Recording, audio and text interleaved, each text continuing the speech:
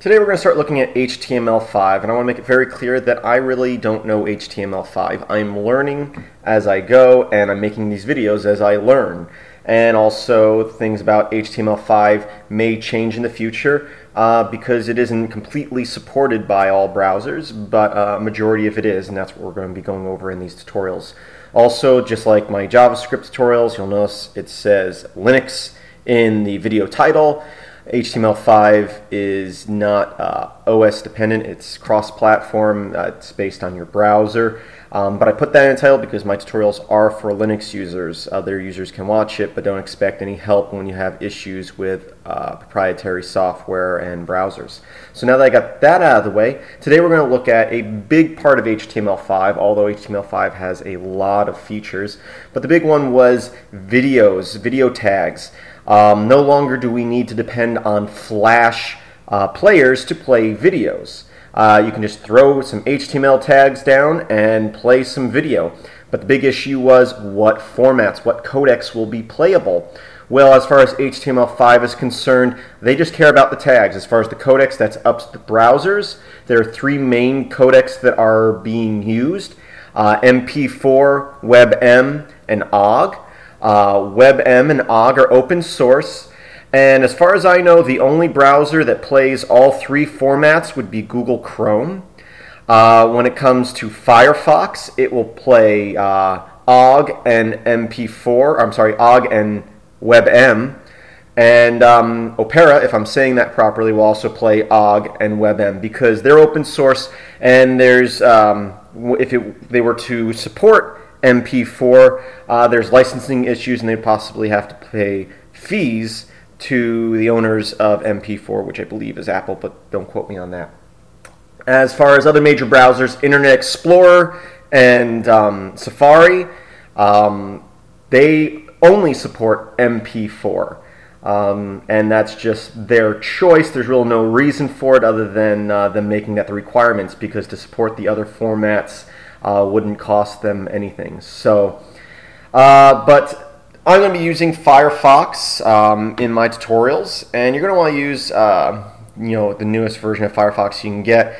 HTML5, uh, I believe, started support in 3.5, uh, but if you're running uh, Firefox 4 or Firefox 5, you should be good with these tutorials. So let's just get started now that I've got all the disclaimers and conversation out of the way. I'm going to use Vim as my text editor and we'll just create a file called index.html. Um, oh, let me show you real quick. I have three files in this folder. They're all the same video but in the three different formats that we just discussed. So vim index.html, not vim, vim with an M. and we will start writing out our code here. Now our basic code is, we'll start off with uh, our HTML tags, so HTML, and we'll put the closing tag down here, HTML, and we'll even create body tags. You know, this is just to be proper about it. This uh, simple little script would still work if we didn't have these tags, but the more prop you are, better chance that your code will work in multiple browsers. So next, uh, we will create just a simple tag for our video. We will say the tag will be video. Then we're going to give it a source, and since it's in the same fo uh, folder as um, the HTML file, we just have to give it the file name, and we're going to go with OGG in this case, and the video is called life. And at this point, we can give it a width, and we'll say, I don't know, 320. Now the actual video is um, uh, 720p, which is 1200, uh, I want to say 1280 by 720p, obviously. So the video will still be at that, but just the player will resize it to this. If they were to play it full screen, it would still play at the full resolution. It still is playing at the full resolution, it's just sized to a different size. And then we're also going to say controls equal controls. And that we'll get into more in a little bit, but basically is saying that um, you have the play and the seek and the volume and the full screen button all on the little control at the bottom rather than ha having that be hidden. Now we can close that tag.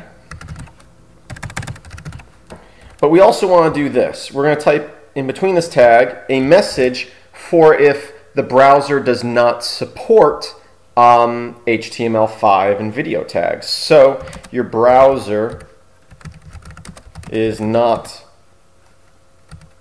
supported.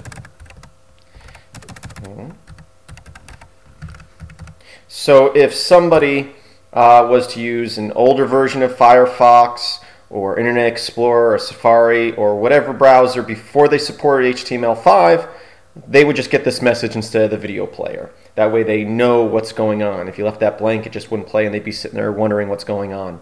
So let's go ahead and save this. And I'm going to go into Firefox here. And I am going to open up a file. So I'm just going to go File, Open, and I'm going to go where I have that save HTML5 and we've got our index uh, HTML here. I'll open it. And hey, there's our video. It's five minutes long. We've got our controls with volume and seek and play and pause.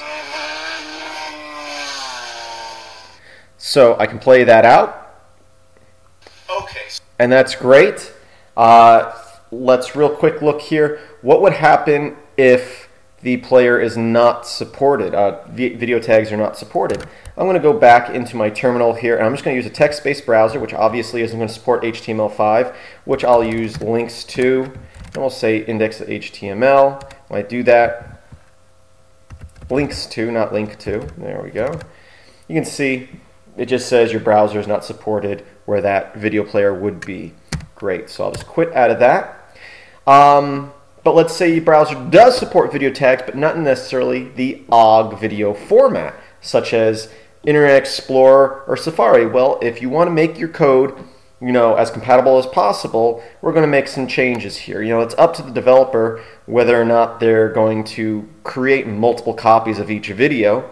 Um, you know, if you're making your videos, you know, for Linux users, obviously, they're going to be using a browser that supports OGG. But if they're Mac users or Windows users, yeah, we can say we don't care, but really, as uh, programmers or web designers, we really should make our code as compatible as possible. So what we're going to do is we're going to remove the source file from this first tag, and then we're going to put little source tags within our video tags. So we're going to say source, and then give our source file which will be life.ogg.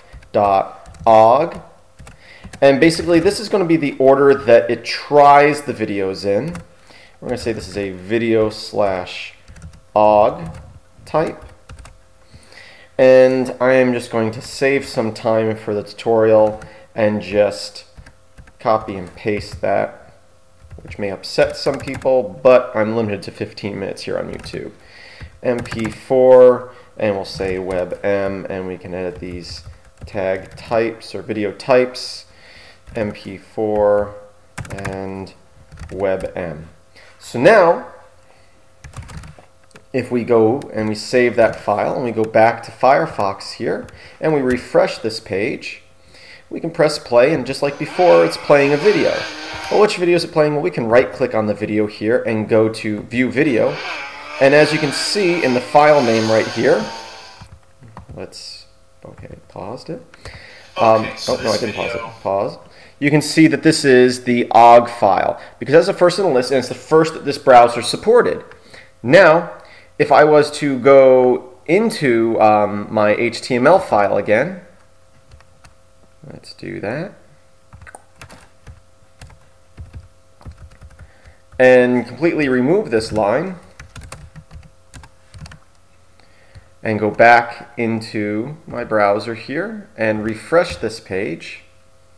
Well, we've got our video. You can see it looks the same. I can press play and it starts playing. I'll pause it and to see what video is, we can just go view video. And as you can see, if I pause this, it says that it is now playing the WebM format. Now, why is it playing the WebM format and not the MP4 format? Because I'm running Firefox, and I have a little typo here anyway, but that's not a big deal.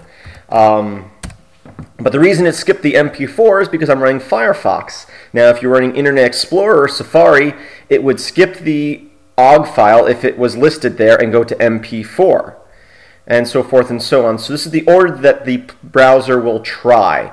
So that's how you make it customizable or compatible, I should say, with um, multiple different browsers.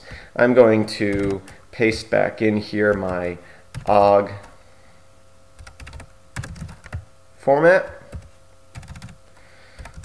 So if you want to convert your file, and I use FFmpeg, and I just have a script that will convert any video to all three formats, um, and then you upload all of them. Now, if you're limited on you know storage space, you're going to have to make your you know your own decision on what format you're supporting. Um, you could even probably leave off like the WebM and just have OGG and MP4 because I think then you'll be good with all browsers. Having both OGG and WebM, um, I think is kind of repetitive because I think every browser that supports supports OGG also supports WebM. Off the top of my head, I could be wrong about that.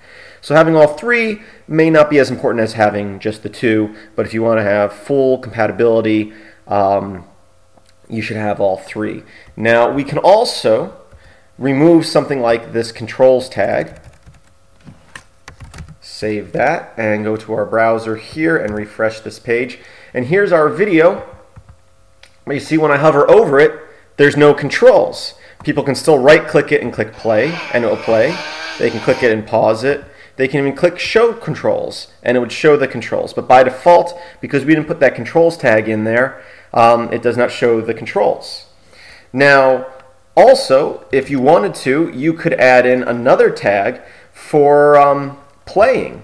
So what we can do is in here, inside our video tag, we can type autoplay equals autoplay.